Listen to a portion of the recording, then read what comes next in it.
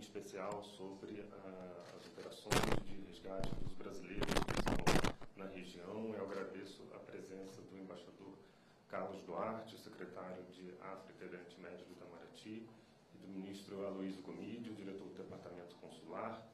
Bom, como de hábito, nós vamos uh, fazer o briefing primeiro com as palavras dos uh, representantes da mesa e depois vamos abrir para as cinco perguntas é, da imprensa que já estão previamente é, indicadas. Né? É, bom, eu passo a palavra, então, por favor, para o embaixador Carlos Duarte. Muito obrigado. Bom dia a todos e todas.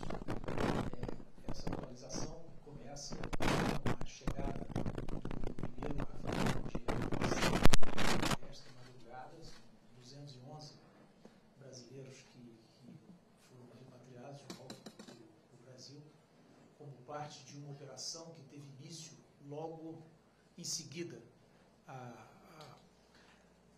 à, eclosão das hostilidades na, na, região, com uma reunião aqui no Itamaraty entre o, o Ministério da Defesa, é, o Comando da Aeronáutica e o próprio Itamaraty com vistas à repatriação dos brasileiros. É, é uma operação em curso, estão é, atualmente é, a caminho outros aviões e para, para trazer todos aqueles que desejarem deixar o, o, a região.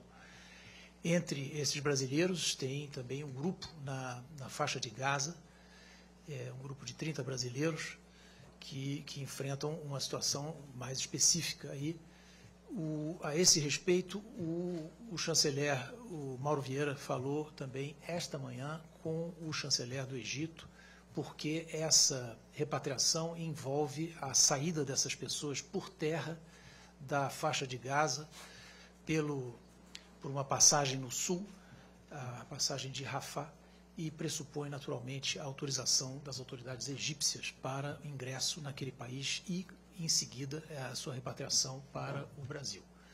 Então, é, essas seriam as informações, as atualizações que teria é, introdutórias. É, não sei se o ministro, ministro Gomide gostaria de acrescentar alguns, alguns detalhes. Muito obrigado, embaixador. Gostaria de apenas de apresentar umas informações preliminares. Talvez a maioria, os senhores já tenham é, essa informação, mas apenas para retomar. Então, ah, no momento da eclosão da crise, o ministro do Estado eh, determinou a, a, a, abertura, a criação de um gabinete de crise. E é integrado por vários setores responsáveis aqui dentro da Secretaria de Estado, que funciona em esquema de plantão, 24 horas. É, da mesma forma, a área consular foi imediatamente acionada, como sempre o é nesses casos de crise. Foram estabelecidos é, plantões 24 horas também, assim como nas embaixadas e no nosso escritório, embaixada em Tel Aviv, as outras embaixadas também acompanhando, e nosso escritório de representação em Ramallah. É, como os senhores devem saber, também foi disponibilizada uma, uma lista, um formulário online, que foi amplamente divulgado para os nacionais brasileiros na região preencherem, é, não apenas por interesse em eventual repatriação, mas também para a embaixada saber onde estão, é, qual sua situação, para poder oferecer outros tipos de apoio, além de, de repatriação, que é o caso vários é, não querem né, é, partir do país. Então, esse levantamento foi feito nesse sentido também, para prestar o, o, o, apoio mais amplo possível dentro da, da, da, das regras consulares a esses, esses nacionais. Ah, então, no momento, para dar uma informação mais atualizada, até amanhã de hoje temos é, 2.723 nomes inscritos nessa lista. É importante frisar que desse número, 211 né, esses passageiros que o embaixador acaba de mencionar, teria de deduzir esse valor total aqui. E, além disso, verificamos é, que existe o fenômeno do, do, duplo, até triplo registro. Alguns nacionais brasileiros estão se inscrevendo mais de duas vezes, em alguns casos. Então, estamos, no momento, fazendo um pente fino, uma revisão dessa lista, para, enfim, reduzir esse número. O segundo voo, é, como foi mencionado pelo embaixador, também está deve é, decolar em algumas horas, na tarde de hoje, horário de, de Tel Aviv, com o mesmo número, enfim, cerca de 210 é, nacionais brasileiros que, que, que, estarão nesse voo. Ah, em termos de priorização, é, primeiro, sobretudo, são os não residentes, são os nacionais brasileiros que têm menores condições, estão aguardando um voo, estão em hotel, não têm meios, os mesmos, mesmos meios que os, que os residentes têm para é, permanecer no país. Então, eles são prioridade. Além disso, naturalmente, todos os grupos vulneráveis, idosos, mulheres grávidas, crianças menores, são as, a, as prioridades em termos de quem entra no voo antes né, dos demais. É uma lista grande, como eu acabei de mencionar. Claro que o número vai, vai, vai, vai sendo reduzido ao longo do tempo, por esses motivos que eu mencionei agora. E então, uh, com o tempo, teremos um número mais preciso em relação a isso. Uh, eu acho que são essas as informações que eu queria uh, destacar logo no início. Ressaltar que existe plantão 24 horas. Estamos recebendo inúmeras perguntas, esclarecendo dúvidas do, dos, dos é, parentes, familiares, dos próprios brasileiros que se encontram no exterior. E pedimos, naturalmente, a, a paciência, embora tenhamos perfeita uh, enfim, ciência de que é, uma, obviamente, uma situação de grande tensão é natural que as pessoas queiram respostas rápidas e imediatas. Pedimos apenas um pouco a paciência para a embaixada filtrar essas chamadas e reagir e responder. Todas as chamadas são respondidas. É, enfim, eu gostaria apenas de ressaltar esses pontos agora e fico à disposição para eventuais perguntas. Muito obrigado, embaixador. Obrigado, ministro. Nós vamos agora passar as perguntas dos profissionais de imprensa que já indicaram interesse em, em formular as questões. É, primeiro, é o jornalista Pedro Nogueira, da CNN. Bom dia, embaixador, ministro, colegas, obrigado pela oportunidade. A minha pergunta é a seguinte: a gente acompanhou nas últimas horas uma transmissão ao vivo de um porta-voz da, das Forças de Defesa de Israel falando sobre a situação. Ele descreve uh, que há muitos reféns com dupla nacionalidade, lista algumas nacionalidades e, dentre elas, ele diz que há brasileiros. Então, a minha pergunta é se o Itamaraty está verificando essa informação, se de fato há pessoas com dupla nacionalidade brasileiras entre os reféns na faixa de Gaza uh, nesse momento. E também queria saber se tem atualizações da brasileira que continua desaparecida. Então, é reféns e desaparecido. Obrigado. É, muito obrigado, Pedro. De, de fato, nós é, recebemos essa informação também e estamos é, procurando verificá-la, mas não temos ainda confirmação é, de, que, de que existiria algum refém com nacionalidade brasileira, ou de uma pessoa entre reféns com nacionalidade brasileira. Estamos buscando essa confirmação. É, em relação à segunda parte da pergunta, talvez seja melhor o ministro, ministro Aloysio responder. Obrigado. Obrigado, embaixador. É, até o momento, desculpe, até o momento não temos é, qualquer confirmação a respeito do mais concreto, a respeito do desaparecimento da terceira brasileira, né, que está na lista, a senhora Carla, se não me engano, né, Carla Mendes. É, até o momento não temos nenhum detalhe. Nossa embaixada está em estreito contato com as autoridades locais, é, buscando as informações disponíveis, mas até o momento não temos nenhuma novidade. Bom, em seguida, a jornalista da CBN, Gabriela Echenique. O embaixador ministro, eu queria esclarecer um pouco melhor sobre a situação dos brasileiros na faixa de Gaza. O senhor falou que são cerca de 30 que pediram para voltar, só que me parece que as informações às vezes parecem confusas. Eu queria entender claramente. O Egito já deu a autorização para que eles passem em segurança. E a outra pergunta é que a gente tem mantido contato com as pessoas que estão lá e eles dizem que mesmo com essa autorização do Egito, aquela fronteira onde, acho que imagino que os senhores estão planejando que eles passem, de Rafah, se não me engano, está toda bombardeada e ainda não está conseguindo passar por lá. Então, queria saber qual é a situação de momento, o que está faltando para que eles consigam passar em segurança, já que o ministro Mauro Vieira divulgou um vídeo falando que divulgaria dia e horário em que eles passariam. E se essa resposta não, recebeu, não receber do Egito ainda, diante da situação de que eles estão ficando incomunicáveis, há algum plano B? Ontem o Marcelo Damasceno da Aeronáutica chegou a falar de passar por outras duas cidades do Egito, que seriam mais próximas. Não sei se os senhores podem falar que cidades ou aeroportos seriam esses mais para esclarecer mesmo. Obrigada. É, muito obrigado. Bom, a situação de, dessas pessoas, desses brasileiros que se encontram em Gaza, é, é muito particular, porque é uma zona conflagrada. Acho que aí existem duas questões. Uma é o fato de a passagem de Rafah ter uma abertura é, intermitente. Isso em função da situação justamente de segurança naquela zona. É, então, essa é uma questão. A outra é a questão da, da autorização é, para o ingresso no território egípcio. E a esse respeito, como eu mencionei no início, o nosso chanceler esteve em contato com o chanceler egípcio, é, buscando é, essa autorização assim, assim que possível. É claro que há aí uma, uma é preciso respeitar aí a, as, as, autoridades egípcias e, e sua, os seus trâmites. Mas essas são as duas, as duas questões. Com relação a alguma outra, é, é algum é, plano, plano B, precisa, é, eu não sei se o ministro Aloysio teria alguma, alguma informação a esse respeito, mas por enquanto nós estamos trabalhando com vistas a essa passagem pela passagem de, de Rafah no sul de Gaza. Parte da pergunta também diz respeito a algumas declarações que fez o comandante da aeronáutica esta, esta madrugada sobre a possibilidade de, de, de verificar se outros, se alternativas ao aeroporto do Cairo. Isso é, eu não teria muitos detalhes aqui a dar, porque teria que ser verificado com o comando da aeronáutica. Mas ele, ele, ele de fato disse que estava em curso essa verificação de alternativas de pouso naquela região. apenas para complementar as informações do embaixador, é, nosso escritório em Ramallah está em contato com esses é, 30 é, é, brasileiros e dois ou três estrangeiros, todos vinculados ao pai, ao mãe, ao avó, ao marido, enfim, é, brasileiro, dos, dos nacionais brasileiros, ou seja, formam parte de um, um núcleo familiar. E, não, perdão, são 30 no total, e, e dentro, dentre esses 30, há se não me engano, a, a um grupo de estrangeiros, é, seja filhos menores de brasileiros que ainda não foram registrados, mas são, só não receberam registro ainda, e três estrangeiros, de fato, que são ou mãe ou pai estrangeiro, ou uma avó, por exemplo, que está cuidando, responsável pelo, pelo menor.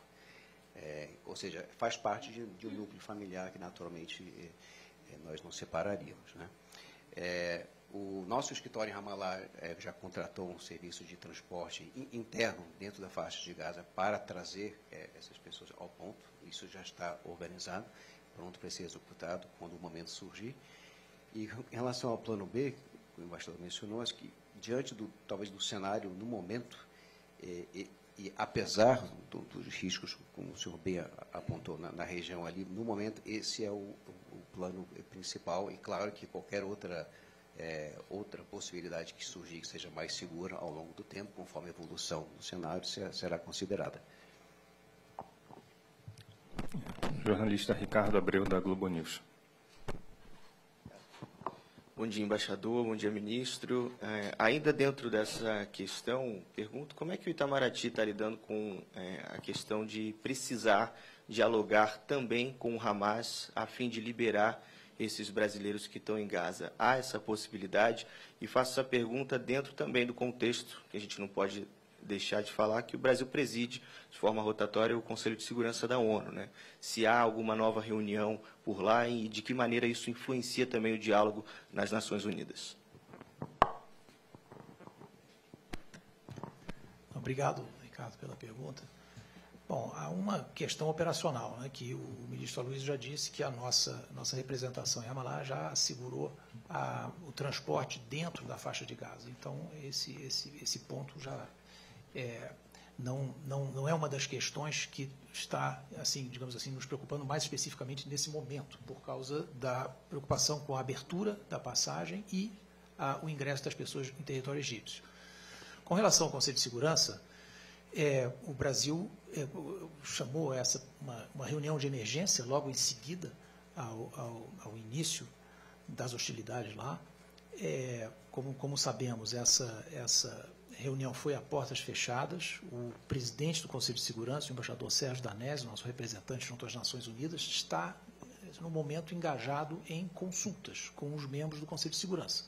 São 15 membros, como se sabe, e aí, dentro do Conselho de Segurança, cada, cada um desses membros tem sua, suas posições é, é, com relação ao conflito é, Israel-Palestina. E, então, por enquanto, não, não há ainda uma indicação clara sobre quando poderia haver uma outra, é, uma outra reunião. E o embaixador está engajado em obter os consensos possíveis dentro do Conselho de Segurança. Bom, a jornalista Yasmin Costa, da Jovem Pan. Bom dia, embaixador, ministro. Vocês falaram hoje de que hoje de manhã, até hoje de manhã, 2.723 nomes, pessoas se inscreveram aí nessa lista para serem repatriados.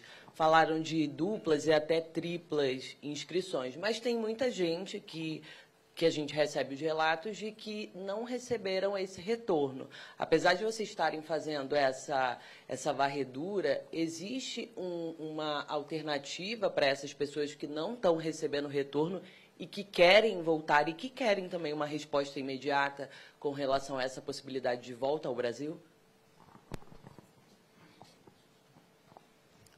Obrigado. Uma pergunta de fato esse, esse é o número que eu mencionei hoje. E só para reiterar, eh, desses, esses nomes são os nomes que são inscritos. Não necessariamente todos é, pediram, digamos, repatriação. Foi um registro de nomes que a embaixada é, disponibilizou, cadastrou.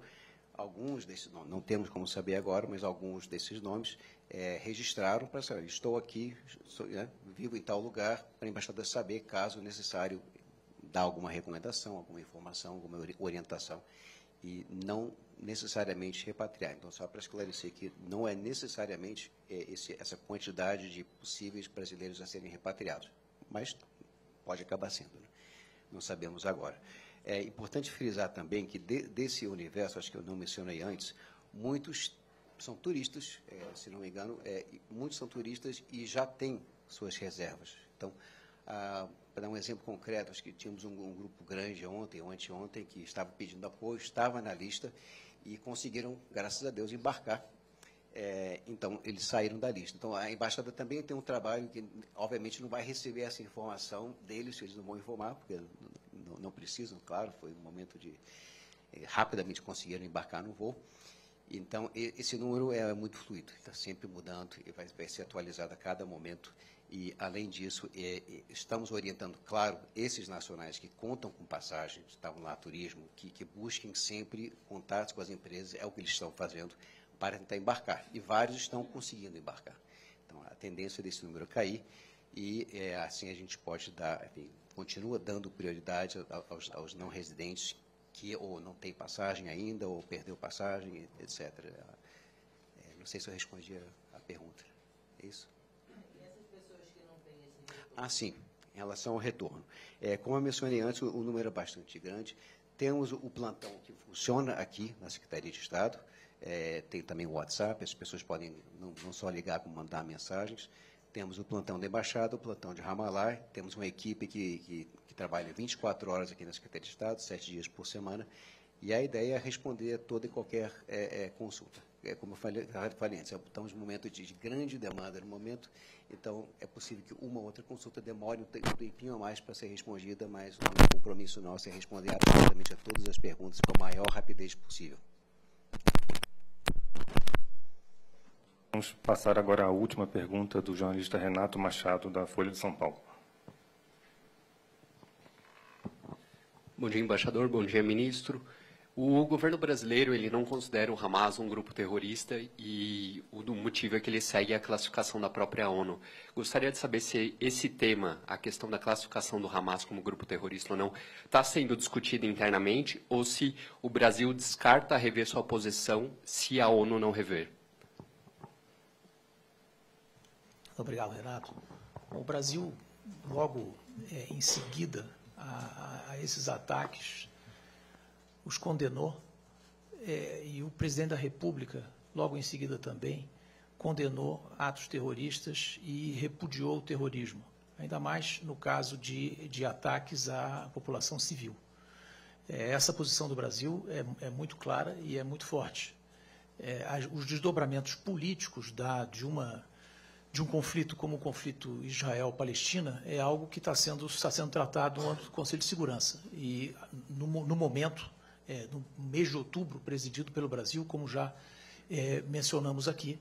E, é, e, essas questões, evidentemente, estarão, serão objeto de, de, de consideração no âmbito do Conselho de Segurança.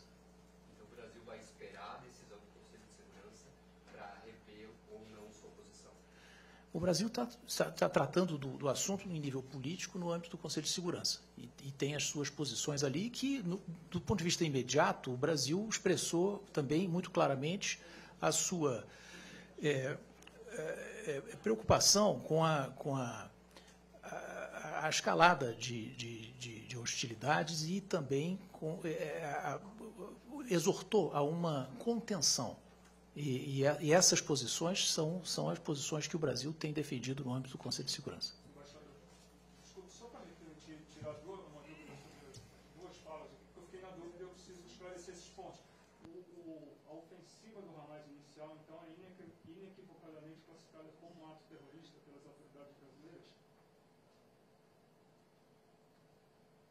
Olha, as autoridades brasileiras se pronunciaram por meio dessas duas notas. O, a nota do Itamaraty e a, a, a, o, o, tweet do, do, do, presidente Lula. Onde o termo ato terrorista foi utilizado. Foi utilizado.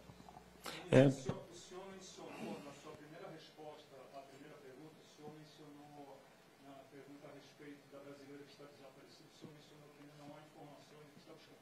Não ficou claro para mim se não há detalhes sobre a situação dessa brasileira oficialmente ou se não há informações precisas sobre ela?